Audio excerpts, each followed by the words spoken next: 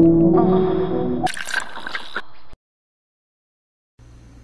Today we are diving right outside the harbor at Kailua Kona on the Kona side of the Big Island. This is a beautiful and great tourist destination. There's a really wonderful little harbor. And right outside the harbor on a shore dive, you can drop down to 20, 30 feet deep and see beautiful corals and thousands of these Hawaiian Dascyllus fish. These fish are endemic to Hawaii, and there's many of them at this dive location. They dance in and out of the corals, and then if you get a little too close, they zip in to hide. This is really a nice, short shore dive for people staying in the hotels right along the Kona coast. There's white spotted surgeonfish, yellow tangs.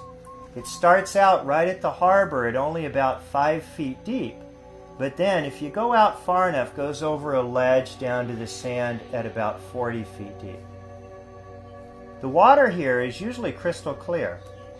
There's not a lot of runoff from rain, and right up the coast is a big volcano that's making new land almost every day of the week. This is a wonderful cleaning station here. These filefish are coming in, and the little cleaner wrasse is eating little teeny parasites off its body, scales, and fin.